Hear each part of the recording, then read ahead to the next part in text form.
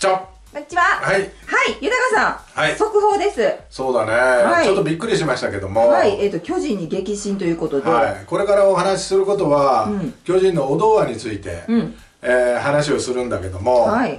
あのー今日 YouTube の撮影が実はあってね、うんうん。で小堂のことも結構話をしてるわけだかなるほど。らまあそれはそのままノー編集で流すかもわからないんで、うんそれはちょっとご了承くださいということまず言っといてね、うん。話がね、ちょっと、あの、お前後しちゃうところがあるけれども、まあまあねはいということで、どういうことかというと、はい。このシーズン開幕直前に、え電撃対談ということでね、はいはい。どうもあの、二軍に行くような話が出たところ、えはい。本人からあのアメリカに戻りたいとうん。対談の意向を伝えられて、そのままあのそれを尊重という形で対談が決まったようなんですけど、はい。まあ、オーブン戦の打率も1割7分6厘とうん。かなり低迷していたと。うん、まあホームランも出なかったしね、うん。ホームラン170本以上打ってて、うん。でそういうホームランも期待されてるファンの方もいらっしゃったと思うんだけども、うん。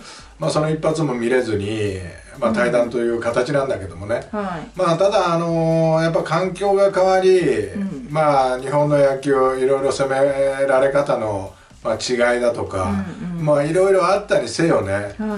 ああこれで帰っちゃうのかなっていうちょっと寂しい思いと、うん。まあ、逆に言えば、うん。ああやっぱモチベーションがすごく大切だから巨人のチームに本当は溶け込んでいけるはずなんだけどね。巨人ってすごく温かい人間も多いしだけどなんとなくこう自分で壁を作って入っていけなかったのかなっていうような、うん。だからキャンプの時から見てもまあ挨拶もするんだけども挨拶あんまり交わさないんだよね、で笑顔がないんだよ、うん。でちょっと話した時にダルビッシュの話をした時に、パドレスのね、ああもうナイスガイでどうのこうの。その時だけ笑顔を作ってて、んそれでなんか他のプレーの時、んえー試合の時いろいろ表情も追ってたんだけど全くこう辛そうなんだよね。うん。ああだから悩んでんのかなっていうような気持ちで捉えてたけどもやっぱ開幕直前にみんなが足並み揃えてって言った時にまあこの対談の申し出っていうのはねちょっとショックやな。うん、やっぱねまあチームにっていうよりもこう日本に来るっていうことにやっぱちょっと抵抗があったんでしょうかね。まあでもそれは話を聞くところによると、うん。まああのダルビッシュと一緒に日本食をね、うん。食べに行ったりだとか、うん。箸の使い方も上手なんですよって通訳の人が教えてくれたりとかしてたし、だからそういう意味ではある程度楽しみにして来てたのかなっていう情報も得てると思うんだよねいろんな情報を。でそれがやっぱこううまくいかなかったのかなっていうような、うんまあそういうところもあるしだからそのアメリカのあの環境を看板のちいちゃんも見たと思うんだけど、はい。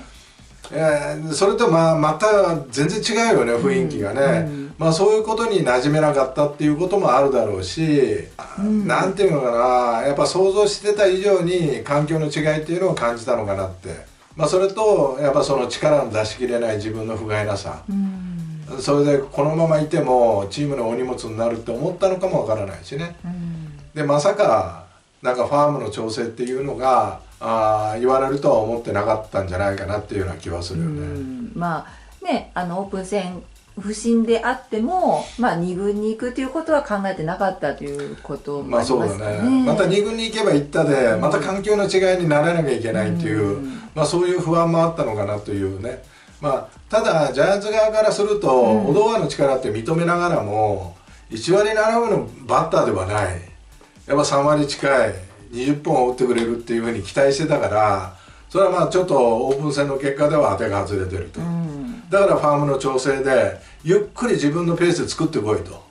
それまでは我々も頑張ってるっていうような言い方はね多分したとは思うんだけどもまあなかなかこう受け入れてもらえなかったというねやっぱね開幕は一軍で迎えたいとかそういうのもあったんでしょうかね。いやそれはあるだろうね、うん。いやせっかく来てるわけだし、うん。やっぱこうオープン戦とまあ外国人ってオープン戦とやっぱこう本ちゃんというのはやっぱこうスイッチが変わるというかさ、うん。目の色が変わってくるっていう。外国人ってスロースターターが多いんだよね、うん。だから開幕からこうこう夏場にかけて上げていくっていう選手が多い中、うん。だから開幕あのこのオープン戦で判断をされやっぱこうちょっとファームにっていうのがちょっと自分の中では受け入れられなかったのかなっていうような、うん。まあそんな気もするけどもね、まあそれより何よりあーやっぱり自分の成績が出ない、うん。まあ日本のレベルの高さにうん。ちょっとびっくりしたかもわからないし、うん。これはまあ想像ででしかないけども、うん。ただやっぱこうポランコとさ、うん。ウォーカーってうん。すごく仲良しに見えたじゃない。はいで話し相手じゃない。うん。でもオドアってうなんか一人のような感じがしたんだよね。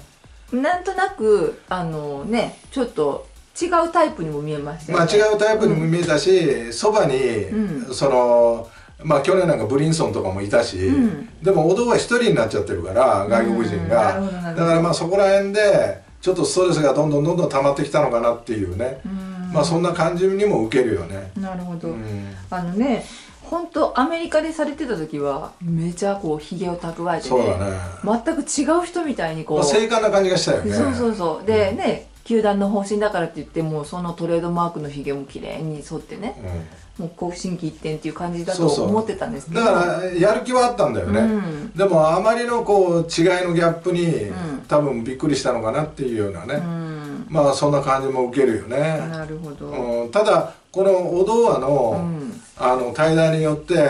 非常にチャンスうん。が出てきたのが松原と梶谷。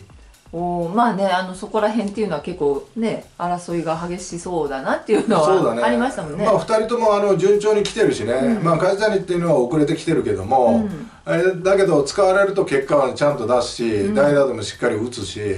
まあ、松原っていうのは守備とかね肩とか、こういうのは使えるしね、うんうんあのースタート切るっていう意味では、うん。やっぱ状態のいい人間を使えるということから考えると、うん。よ対談してよかったはないけど、うん。一つの悩みの種が取れたかなっていうような気はするね。まあ何かメリットを探すならそういうところ。まあまあそうだな。苦しい紛れにメリットを探すとね、うん。まあそれはもう一番いいのは、小堂アが坂本の後ろ6番あたりを打ってくれると、一番落ち着いたんだけどもね、うん。まあだけどもまあ結果が出ない。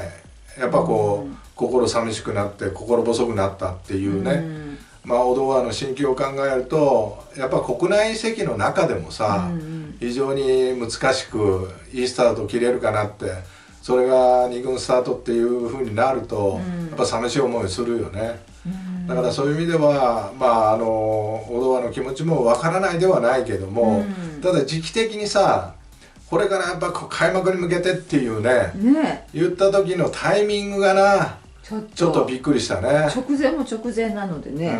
うん、うん、だけどまあ途中でやるよりは、まあ、ジャイアンツもすっきりするかなっていうふうに思うようね、んでもジャイアンツはよく入るな。いや本当そうなんです。今回のこのニュースを聞いて、あらなんかこのねこの数年のうちにね立て続けにまあこう前活躍を前にね帰国しちゃう選手っていたなーって。うん前にもあったしね、うん。まあだけどあの大怪我をしてねあの対談を余儀なくされたっていうようなケースもありましたけど、ね。ちょっとねアメリカに帰りたくなったっていうような理由のもあったのでね、まあここのとこちょっとね、うん。ウォーカーを打つけど守れないとか、うん。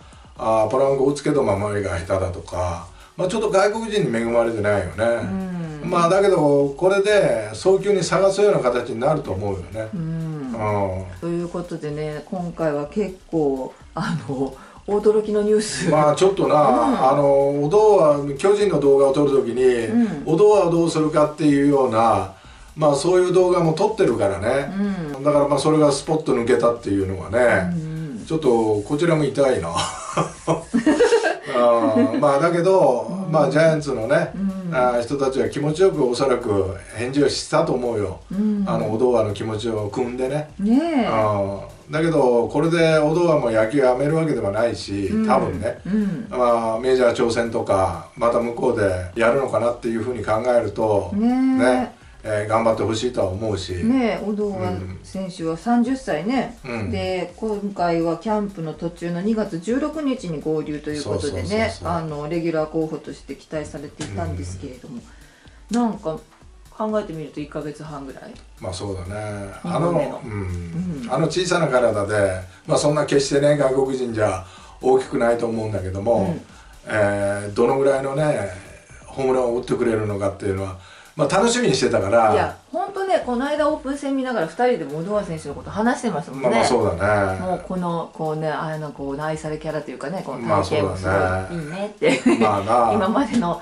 人ともちょっと違うねとか言ってね。ちょっと小柄でな。だけどそのねパワーを秘めてどんなバッティングを見せてくれるかっていうのはねちちょっとょっと楽しみにしてたけども、うん。まあちょっと本当にねせっかく日本に来て、えーちょっと残念だったしね。本当にね、はい。こう環境に馴染めなかったのかすごく残念ですけど、まあそうだね、はい。まあだけどね本当に野球続けるとしたら、うん。まあ頑張ってほしいと思います、ねまたねアメリカ帰ってからねどういうね野球人生があるのか楽しみにしたいと思いますね。はい、はい。そこでした。はい